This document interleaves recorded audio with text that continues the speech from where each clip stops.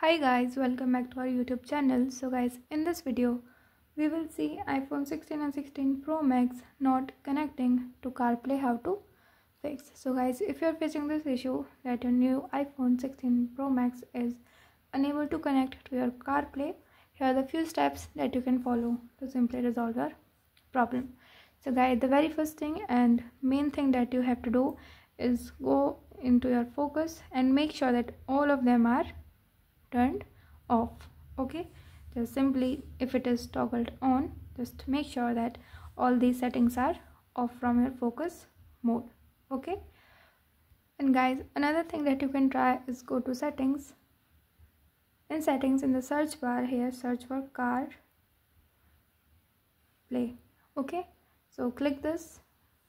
And once you are on this if you are any if you are nearby any car play and it has wireless support that will be shown here okay?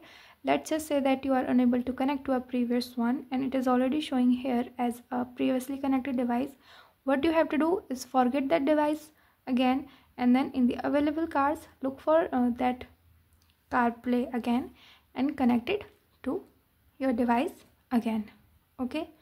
So after this if you are still unable to connect just go to settings in the settings go to general and here scroll to the end until you see the transfer or reset iphone. From here you will see the reset button again and click here and you will see reset all settings. Okay? So press this button it will verify you. You have to start the security delay and once this security delay, delay will complete your phone will reset all the settings to the default ones. Okay? It will not affect your saved data your pictures and your information but it will reset the some settings and your CarPlay will be one of them.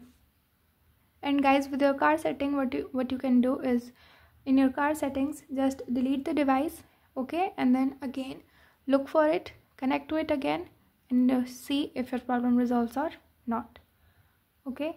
So guys this is all. I hope this video helps. Thanks for watching